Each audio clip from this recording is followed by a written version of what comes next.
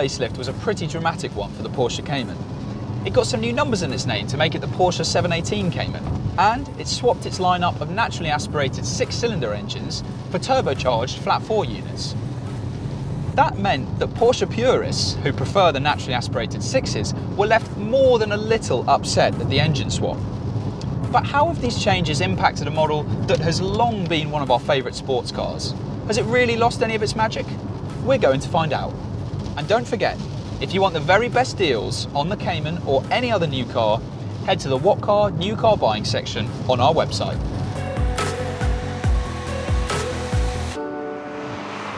The Cayman is available with three different engines. They're all petrol, they're all turbocharged, and they all have four cylinders.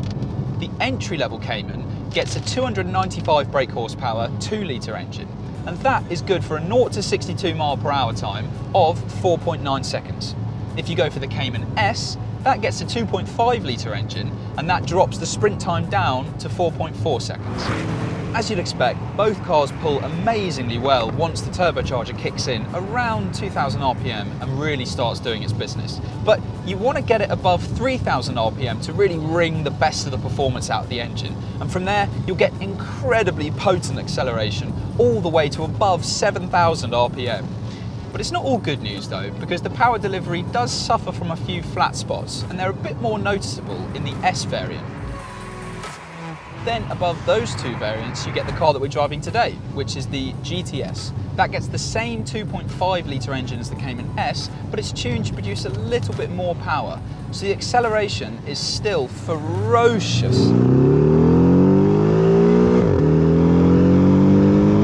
But the outright pace isn't actually that much quicker than the Cayman S. No, the real benefit of the GTS is that the power delivery is just a bit smoother and more consistent than you get in the other engines. The six-speed manual gearbox is more entertaining for keen drivers, but its long ratios mean you'll rarely need more than second and third for spirited driving.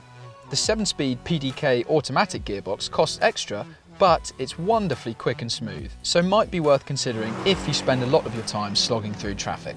You do lose some driver involvement though. But performance is one thing. What about handling?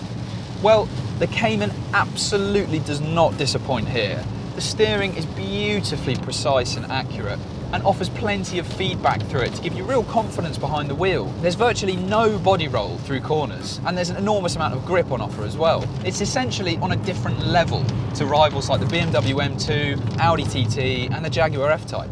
It's only really the Alpine A110 that comes close. But don't go thinking that you have to be on track or herring around corners to enjoy the Cayman, because so broad are its talents that it actually feels just as comfortable pootling around town as well. It's not all good news for the Cayman on the performance front though.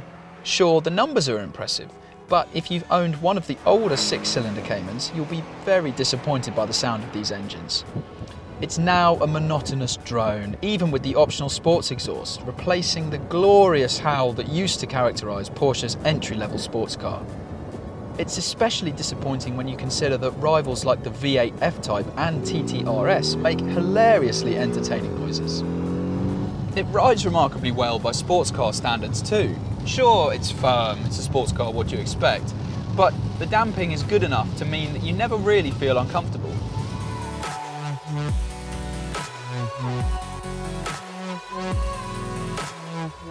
The driving position is absolutely bang on the money. The pedals are perfectly positioned and there's plenty of adjustment in both the steering wheel and in the seat as well.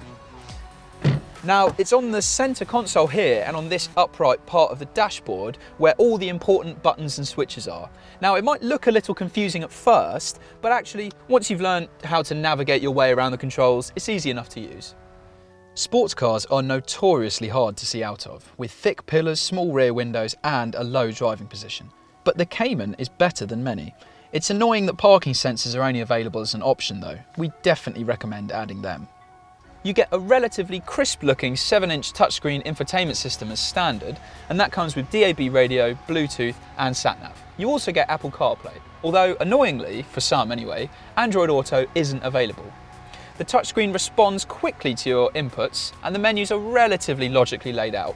You also get some helpful shortcut buttons to navigate around the different menus.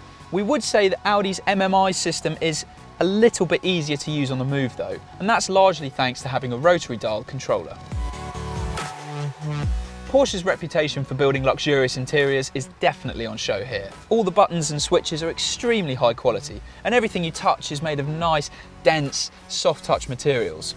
It certainly feels more special to sit inside than rivals like the Jaguar F-Type, which is more expensive as well. But we'd say it's not quite as classy as the more minimalist Audi TT. It might have its engine mounted in the middle of the car, but there's still plenty of room for tall drivers.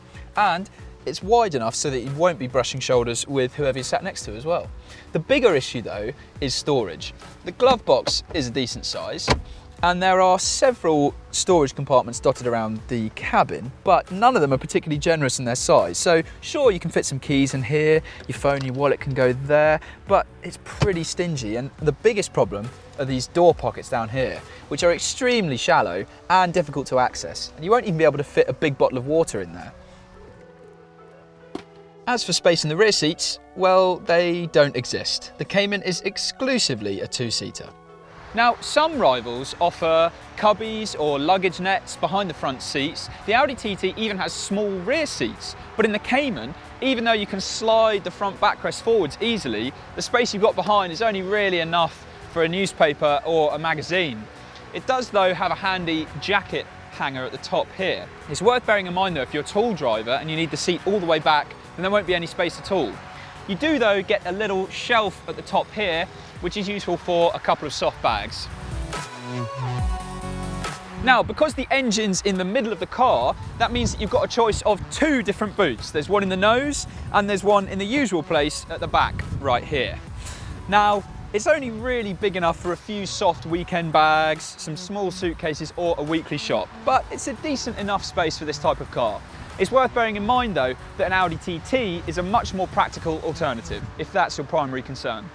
You'll have noticed that we are talking about a Porsche, so yes, you are right to assume that it's going to require a fairly hefty initial investment to get one, even if you opt for an entry-level Cayman. It's also worth bearing in mind that real-world fuel economy is pretty disappointing. We took a Cayman S on our true MPG real-world fuel economy test, and it returned just 28.4 miles per gallon.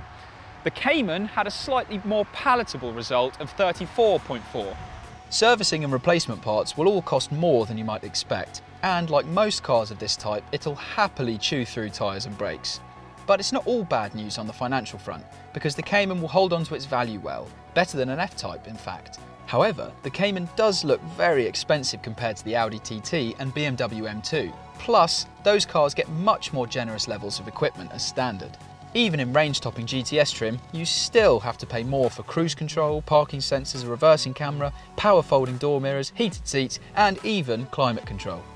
Our recommended choice would be sticking with the standard Cayman and adding a few choice options.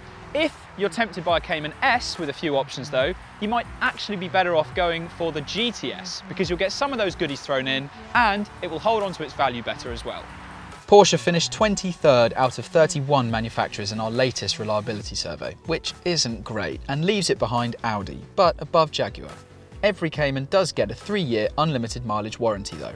Standard safety kit is fairly stingy. Six airbags are standard, but you have to pay extra for autonomous emergency braking, blind spot monitoring, lane keep assist, and a speed limit display. The Porsche 718 Cayman is an absolute joy to drive and beautifully built, offering incredible handling, a classy interior and a strong choice of engines as well. Yes, those engines don't sound particularly great, the real world economy is fairly poor and standard equipment is far from generous, but all things considered, it is undoubtedly one of the best sports cars on the planet. For much more on the Porsche 718 Cayman, including our full review of it and all of its key rivals, head to whatcar.com. And while you're there, don't forget to look at the new car buying section on our website. It could save you thousands off your next new car purchase. But before you do any of that, click subscribe to never miss a video.